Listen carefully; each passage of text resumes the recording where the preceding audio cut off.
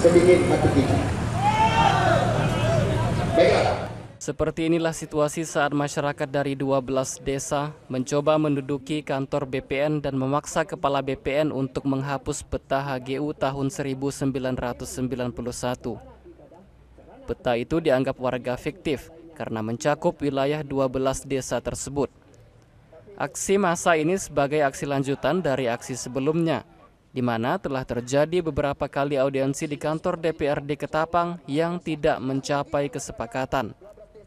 Meski sempat memanas, namun aksi ini akhirnya dapat berjalan tertib setelah pihak BPN mau mendengarkan masukan dari aparat kepolisian untuk melibatkan masyarakat dalam pengecekan wilayah bersama.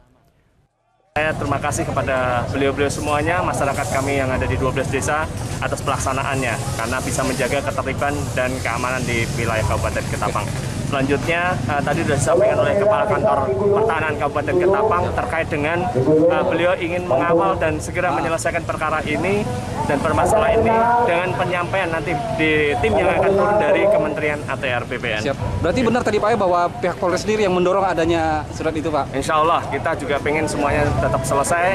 Kan uh, dari Kakantah juga mempunyai apa namanya keinginan untuk bersama-sama untuk kita selesaikan. Oke. Uh, kami menitik beratkan kepada komitmen, ya komitmen penyelesaian permasalahan agar masalah segera diselesaikan, tidak diulur-ulur waktu. Ya, itu yang yang kami sampaikan tadi. Ya tadi pernyataan sikap kita sudah tahu bersama bahwa komitmennya seperti itu yang disampaikan oleh BPN.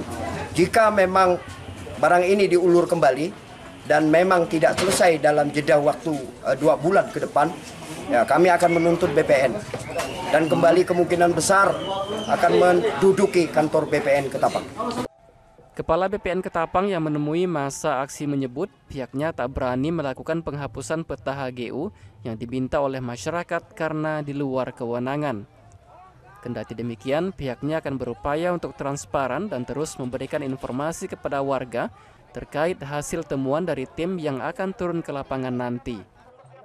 Tadi juga kami sampaikan bahwa tentu kalau kami di minta untuk menyatakan bahwa HGU peta HGU 91 itu Mm-hmm. itu apa namanya eh, harus dihapus tentu bukan kewenangan kami. Tentu nanti kewenangan tim yang dibentuk oleh Bapak Menteri.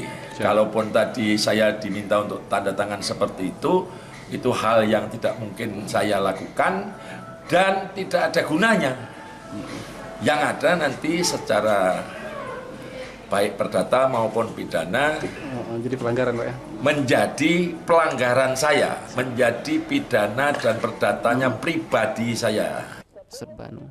Dari Ketapang Yulizar memberitakan.